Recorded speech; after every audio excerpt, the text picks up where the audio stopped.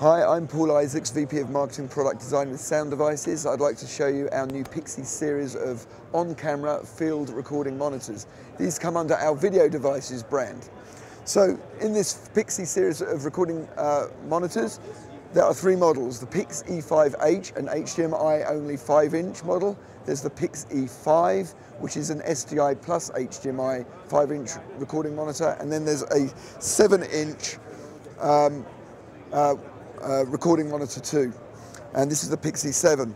Now the PIX-E 5s, the 5 inch versions, are the world's smallest and most compact 4K recording monitor. Um, they have uh, 1920 by 1080 LCDs with 500 nit brightness, so great in sunlight. The 7 inch has a 1920 by 1200 pixel LCD, 500 nit, great in sunlight. And there's also sun hoods to go with that too. So let's talk a little bit about the monitor functions. These are primarily monitors with full range of monitor functionality. So you have your scopes, you have your waveform monitor, you have your vector scopes, you have your histogram, you have uh, the ability to apply LUTs. So we have built-in S-Log2, S-Log3, Canon and ARRI uh, logs, so you can decode to 709 on the display.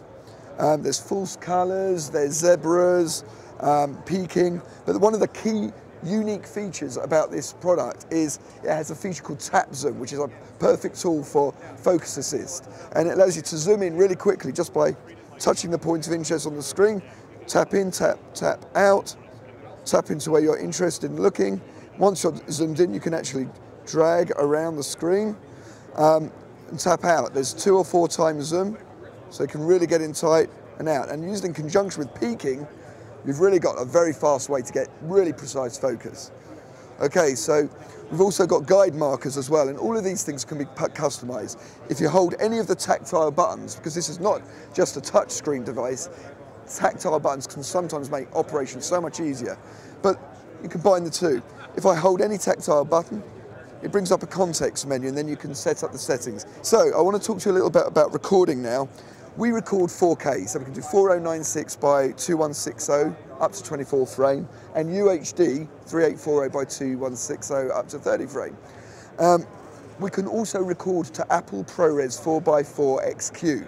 That is the highest quality codec available on the market, but obviously we can do the whole range of ProRes.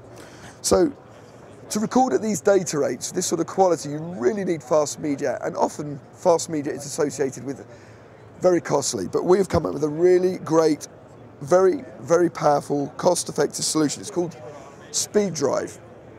And Speed Drive, it, well, it looks like a USB thumb drive. And it is a USB thumb drive, but it's way, way, way, way more than that.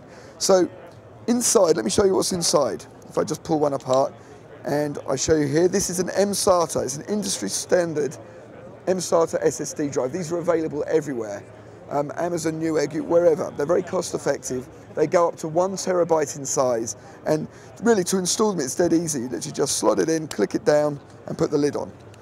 Once you've done that, you've got your drive. You then need to just slot this into the back of your PIX-E.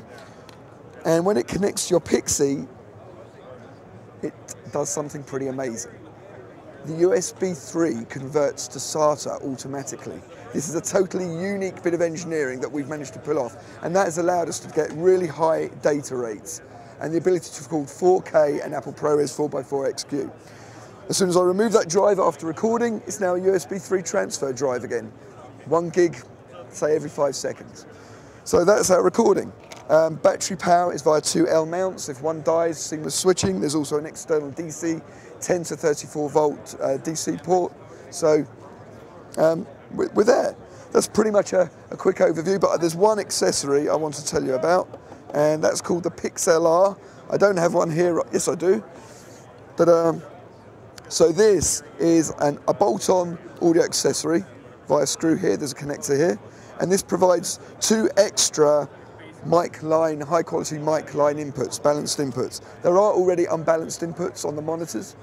Um, so this has phantom, limiters and high pass filter, LED metering, big transport controls, and some nice little pop-in gain controls.